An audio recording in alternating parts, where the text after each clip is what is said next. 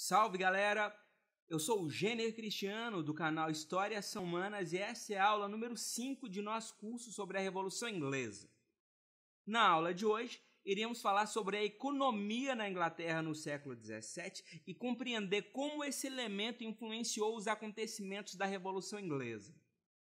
Antes de seguir em frente com a aula, eu vou fazer aquela solicitação costumeira. Se você está gostando de nosso canal, inscreva-se, deixe seu like, deixe seu comentário, compartilhe o vídeo com seus amigos e adiciona nos favoritos. Faz isso agora. Valeu! Então, sem perda de tempo, vamos logo ao início de nossa aula. A partir de agora, iremos analisar a situação da economia na Inglaterra no século XVII e fazer as devidas relações com o tema central desse curso, que é a Revolução Inglesa. Enfim, nessa aula você vai entender de que forma a economia influenciou o cenário político da Inglaterra no século XVII. A primeira coisa que precisamos saber em termos de economia é sobre o crescimento das manufaturas. Vamos começar tentando compreender o que significa a palavra manufatura. As manufaturas eram produtos artesanais, produzidos manualmente, ou seja, eram mercadorias feitas à mão.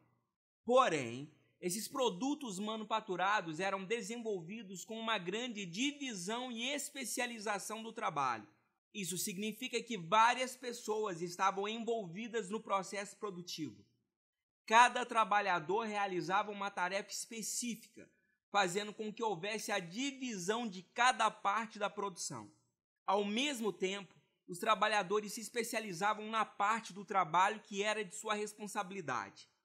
Alguns estados nacionais europeus incentivaram a produção de manufaturas porque elas tinham maior valor comercial do que os produtos de origem agrícola. A melhor forma de entender isso aqui é com um exemplo. Os tecidos produzidos pela Inglaterra são um exemplo de produtos manufaturados.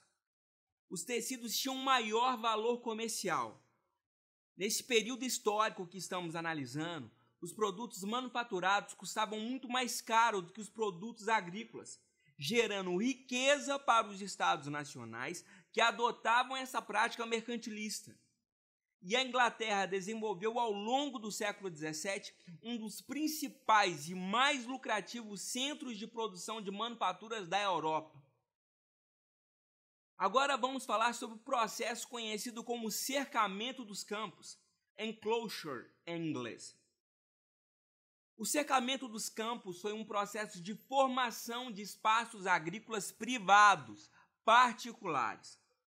Em outras palavras, esse processo foi caracterizado pela formação de grandes extensões de terras particulares utilizadas para o desenvolvimento da pecuária e agricultura comercial destacando-se a criação de ovelhas para abastecer as manufaturas de tecidos e a produção de grãos, voltada principalmente para o consumo interno da Inglaterra. Uma das principais consequências do cercamento dos campos foi a modernização da agricultura, racionalizando os processos produtivos e aumentando a lucratividade da atividade agrícola. Mas, porém, contudo, entretanto, todavia, não obstante, para que isso ocorresse, milhares de camponeses foram expulsos das terras de uso comum. As terras de uso comum, também chamadas de terras comunais, eram uma antiga tradição dos tempos do feudalismo.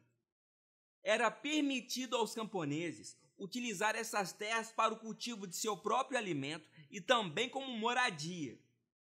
Entre os séculos 16 e 17, essas terras passaram a ser vendidas algo que passava necessariamente pela desocupação desses espaços. Outra consequência da política dos cercamentos foi a expulsão dos camponeses das terras comunais, provocando um intenso êxodo rural, fazendo com que eles migrassem para as cidades e também para a América do Norte. Todo esse conjunto de acontecimentos resultou na chamada Revolução Agrícola na Inglaterra no século XVII e principalmente no século XVIII. Houve a adoção de novos métodos de exploração da terra, o uso de novos insumos e a drenagem dos pântanos. Houve, portanto, uma espantosa expansão da agricultura na Inglaterra nesse período. O resultado do cercamento dos campos e da modernização das técnicas agrícolas pode ser verificado no século XVIII, momento em que a Inglaterra torna-se uma nação autossuficiente na produção de grãos. Ou seja, tudo aquilo que a Inglaterra necessitava para abastecer a população com alimentos era produzido internamente, sem a necessidade de importar gêneros alimentícios de outros países. Todas essas mudanças na economia geravam efeitos diretos sobre os interesses do rei, que precisava de mais dinheiro para manter um exército permanente, sobre os interesses da burguesia, que desejava uma maior liberdade de comércio para ampliar o alcance de seus negócios, e sobre os interesses dos camponeses, que se viram expulsos das terras comunais e tiveram que vender a sua mão de obra nas cidades da Inglaterra. Em nossa próxima aula, iremos falar sobre os efeitos das guerras religiosas na Revolução Inglesa. Forte abraço e até o nosso próximo vídeo.